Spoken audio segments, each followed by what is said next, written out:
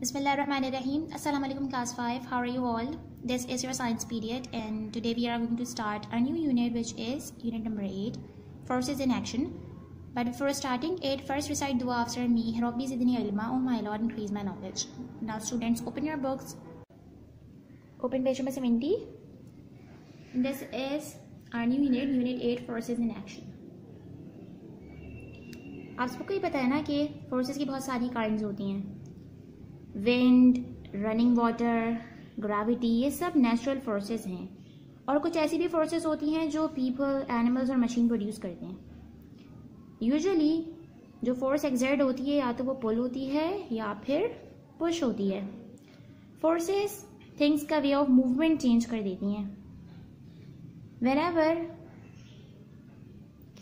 The speed और the direction of motion और the shape of an object is changing तो हम क्या कहते हैं, जी, ये कहा जाता है कि उन पर फोर्सेस एक्ट कर रही हैं। जब भी किसी भी चीज़ की स्पीड डायरेक्शन मोशन या शेप चेंज होता है तो ये कहा जाता है कि उस पर, उन सब पर फोर्सेस एक्ट कर रही हैं। Look at these pictures the bulldozer is applying mechanical force to push the earth अब ये देखिए, यहाँ पे बुलडोजर क्या अप्लाई कर रहा है? मैकेनिकल फोर्स अप्लाई कर रहा है अर्थ को पुश करने के लिए। यहाँ पे फोर्स ऑफ़ पुश यूज़ हो रही है ना? Look at this one the potter is applying muscular force to the clay to change its shape potter muscular force लगा रहे हैं अपने हैंड से, ताकि क्ले का शेप चेंज करके पॉट्स बना सके। And look at the third one the truck is applying mechanical force to pull the trailer और यहाँ पे ट्रक जो है वो मैकेनिकल फोर्स अप्लाई कर रहा है यहाँ पे फोर्स ऑफ़ पुल यूज़ हो रही है, ताकि पुल करे ट्रेलर को।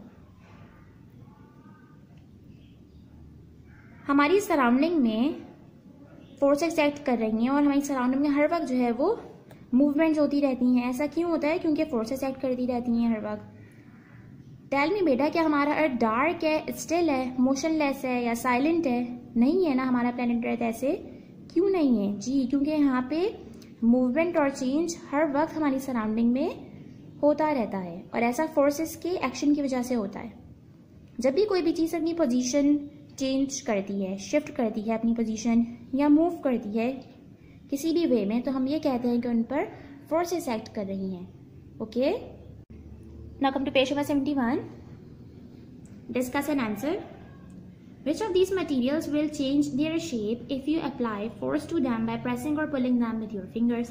अब आपको बेटा यहाँ पे ये बताना है कि यहाँ पे जितने भी मटेरियल्स हैं, इनमें से कौन कौन से मटेरियल्स अपनी शेप को चेंज कर लेंगे जब आप उन्हें प्रेस करें या पुल करें अपनी फिंगर्स से। वॉट अबाउट स्पंज जी स्पंज अपनी शेप चेंज करेगा ना जब हम उसे प्रेस करेंगे? Okay and what about brick नहीं ब्रेक अपनी शेप चेंज नहीं करेगी। वॉट अबाउट प्लास्टिसिंग जी, ये भी अपनी शेप चेंज करेगी। And what about hard plastic box नहीं, ये अपनी शेप चेंज नहीं करेगा। What about dough good dough भी शेप चेंज करेगी, है ना? And metal block no metal block भी शेप चेंज नहीं करेगा। क्ले जी क्ले भी अपनी शेप चेंज करेगी। रॉक रॉक नहीं करेगी। And what about rubber band ji rubber band भी अपनी शेप को चेंज करेगा जब हम उसे पुल करेंगे अपनी फिंगर से। Measuring force forces can be measured by using an instrument called a spring balance forces को स्प्रिंग बैलेंस यूज़ करके मेजर किया जा सकता है। एक इंस्ट्रूमेंट है। आपको देखिए यहाँ पे पिक्चर बनी हुई है ना? ये स्प्रिंग बैलेंस की पिक्चर है। इसके लास्ट में हुक होता है, जिसके ऊपर हम वेट हैंग करते हैं। Spring balance are use to measure force और फिर स्केल पे से हम देख लेते हैं कि कितने न्यूटन जो है वो फोर्स है, इसका वेट कितना है, वो हमें पता चल जाता है।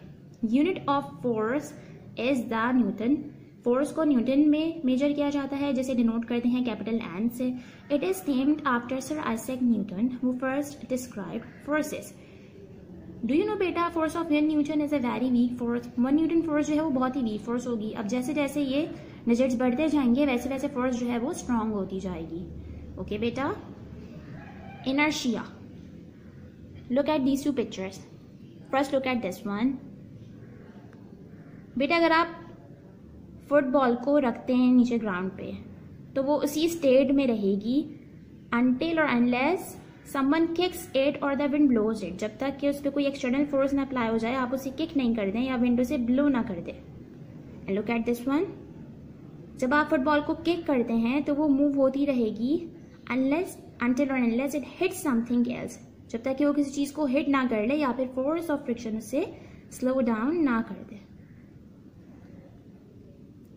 हाँ सब ऑब्जेक्ट्स एक प्रॉपर्टी पोजेस करते हैं, जिसे कहते हैं inertia and by the definition of inertia कोई भी ऑब्जेक्ट स्टेट ऑफ़ मोशन में या स्टेट ऑफ़ रेस्ट में रहता है जब तक उस पर कोई फोर्स अप्लाई ना हो जाए। Inertia has a resistance to any change in an object's movement and in simple words, inertia resists the change in movement. Inertia movement change को resist करता है। फॉर एग्ज़ाम्पल जब आप किसी भी व्हीकल में ट्रैवल कर रहे होते हैं और वो फॉरवर्ड डायरेक्शन में जा रहा होता है तो आप भी उसके साथ फॉरवर्ड डायरेक्शन में ही मूव कर रहे होते हैं अंदर बैठे हुए। लेकिन जब व्हीकल सडनली स्टॉप हो जाए ब्रेक अप्लाई करने पर तो क्या होता है? जी, हमारी बॉडी जर्क्स होती है फॉरवर्ड और फिर उसके बाद हम बैकवर्ड डायरेक्शन में आते हैं। ऐसा क्यों होता है? जी it is because of inertia ऐसा एनर्शिया की वजह से होता है। क्योंकि व्हीकल मूव हो रहा था फॉरवर्ड डायरेक्शन में, हम भी उसी में फॉरवर्ड डायरेक्शन में ही मूव हो रहे थे। लेकिन जब व्हीकल स्टॉप हो गया तो हमें भी तो फिर फॉरवर्ड नहीं उस वक्त मूव होना चाहिए था ना? लेकिन हम उस वक्त फॉरवर्ड क्यों मूव होते हैं हमारी बॉडी जर्क क्यों फील करती है? जी this is because of inertia and our body has registered the change in motion और रेस्ट शोइंग एनर्शिया ओके बेटा? So students you have to read page number seventy and seventy one okay students take care अल्लाह हाफिज़.